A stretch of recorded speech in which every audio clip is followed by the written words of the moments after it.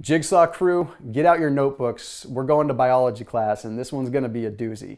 We're going to talk about the adrenals and the true difference between adrenal fatigue and adrenal insufficiency, and how you can start taking back control of your energy levels. Well, the thing is, we have to understand, first of all, what adrenal fatigue is before we can go into detail. It's basically defined as this debilitating fatigue, right? It's the effect of so much stimulation, so much caffeine, so much stress where adrenals essentially aren't able to produce enough cortisol, norepinephrine, DHEA, a couple other things. But then we have to factor in that the medical community doesn't recognize adrenal fatigue, but they recognize something called adrenal insufficiency. See, we have to respect what the medical community looks at. They look at adrenal insufficiency as the inability to produce these specific catecholamines and to produce these specific hormones without being able to produce those, they call that adrenal insufficiency. They don't recognize adrenal fatigue because it's such an ambiguous, broad statement. And I don't blame them. That's a pretty broad diagnosis to just give. But I think as lay people, we can sit here and we can truly understand whether or not we have the early signs of adrenal insufficiency or just a broad adrenal fatigue. Let me explain how the adrenals actually work and let me explain some of the structure of them. And I'll explain the different hormones, the different catecholamines, the different effects it has. So the adrenals are basically a three and a half by one and a half inch gland that sits on top of your kidneys. They're mainly responsible for producing cortisol, norepinephrine, and DHEA. But there's three different layers within the adrenals, and I'm gonna break them down here real quick. The first layer is called the capsule. That's just a fatty layer, an adipose layer that protects the adrenals. The second layer is called the cortex, and that's sort of the big fleshy area of the adrenal that makes up about 80% of it. There's three different zones within this cortex. There's the zona reticularis, there's the zona glomerulosa, and there's the zona fasciculata. Now, it's a mouthful, but it's really not that important to know the terms. Then we have the center portion, which is known as the medulla. The medulla is the epicenter that produces most of the catecholamines, like the epinephrine, the norepinephrine, the dopamine, and the adrenaline, the things that really get us going. But let's talk about that meaty portion for a second, that cortex, because that has a big role too. The main role of that cortex and the different zones within it is to produce things like androsterone, to produce things like DHEA, to produce things like aldosterone and mineral corticoids. What are all these things? Well, I'll break them down here real, real quick so I don't waste a lot of time. Okay, DHEA and androsterone and stuff like that, that is the hormone that helps you create testosterone. It helps other hormones in your body. It helps sex hormones. Believe it or not, the adrenals do play a role with your sex hormones. Then we have things like cortisol. Cortisol is the stress hormone directly, right? It comes up when we are stressed and it helps us reduce inflammation and balance out from stress quite a bit more. Then we have things like aldosterone. Aldosterone is a mineral corticoid, which you may have heard before, but basically what it does is it regulates fluid balance and minerals in your body. Believe it or not, the adrenals do affect your fluid retention. Have you ever noticed that when you're really stressed out, you hold more water? Well, that's simply because you have mineral corticoid bloat and your aldosterone levels are totally skewed, so your potassium, your sodium levels are totally out of whack. Your kidneys, therefore, don't know how to regulate how much water you hold and how much water you excrete. Starting to put it together now? So there's one sign of adrenal fatigue is excess bloat all the time. Now that we have a basic understanding of what the adrenals are and the different things that they do, let's talk about why stress affects them. Okay, what is happening in your life that's making these things burn out? Let's start with caffeine. If you're constantly taking in caffeine, you constantly have this bombardment of norepinephrine, epinephrine, and adrenaline. It's a simple process. That's the feeling that we get. That's the high. That's the love of caffeine. But when you start causing this constant creation of that, then your adrenals are going to get fatigued. They're going to get a little bit tired of having to produce that, and they don't always have the time to recirculate and get things going.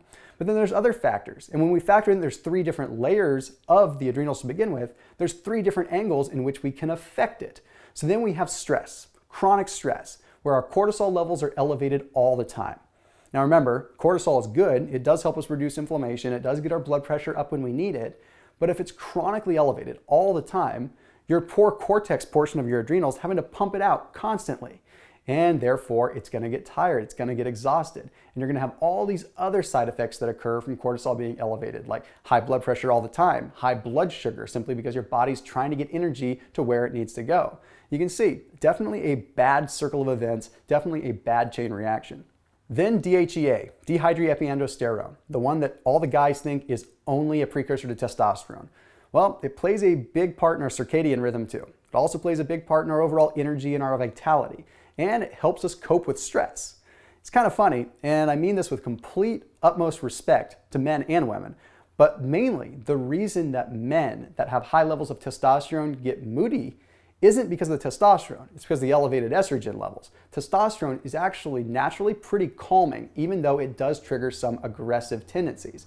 So DHEA is a precursor to testosterone that can actually help a male calm down and deal with a situation a lot better. So contrary to popular belief, that's really more so how it goes. But let's talk about what you can start doing and how you can really tell if you have adrenal fatigue.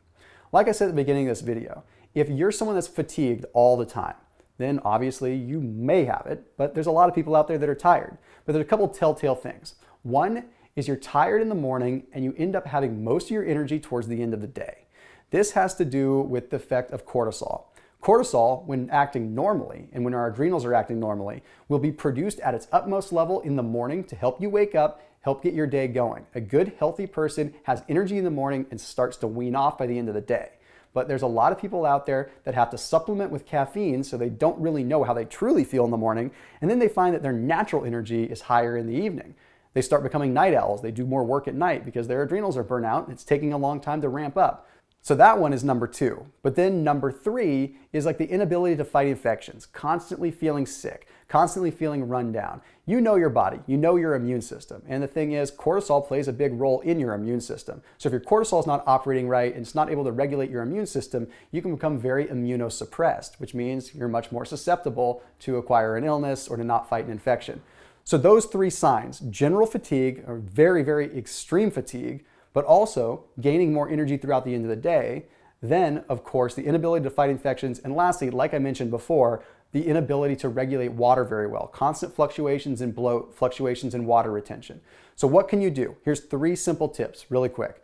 First off, make sure you're getting enough of the Himalayan pink salt that you need. Okay? Himalayan pink salt is going to help balance out your body. It's got 20 or 21 of the important minerals that you really need to regulate that aldosterone, those mineral corticoids. It's going to help that process out. Then the next thing you want to do is you want to make sure that you're getting rid of the sugar. Believe it or not, sugar is so inflammatory, it's causing cortisol to elevate a lot of the time to try to bring the inflammation down. It may not seem like much and it may seem far fetched, but when your body's having to constantly combat inflammation and combat the negative effects of sugar, then you're definitely putting yourself in a bad situation.